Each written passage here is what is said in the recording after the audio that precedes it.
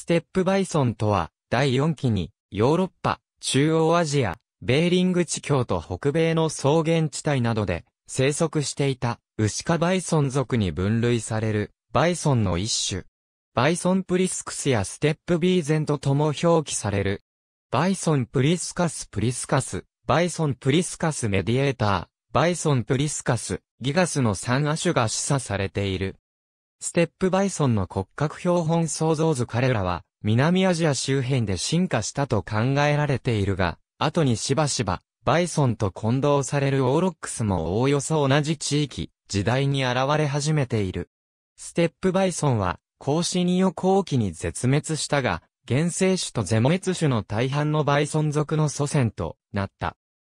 本種がユーラシア大陸において、焼くと自然交配して生み出したハイブリッドたちが北米に到達し、その後に第2波のステップバイソンの北米の流入があって、アメリカバイソン、ジャイアントバイソン、昔バイソン、バイソンオキデンタリスが派生し、北米に流入した第一波がユーラシア大陸に復帰して、オーロックスと自然交配して生まれたヒッグスバイソンの子孫がヨーロッパバイソンとコーカサスバイソンであったとされる。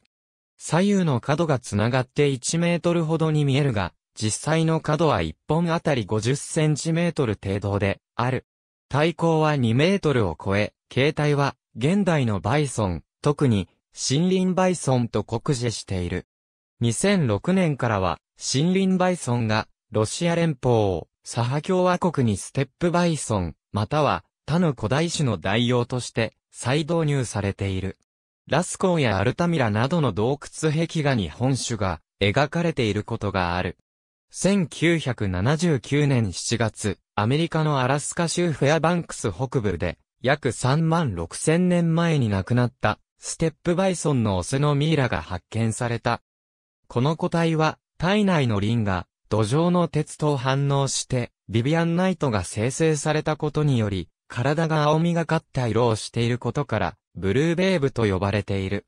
現在、アメリカのアラスカ州立大学博物館で展示されている。岩手県の花泉遺跡から発掘された花泉森牛は、ステップバイソンの仲間だと考えられており、同じくオーロックスも発掘されている。ありがとうございます。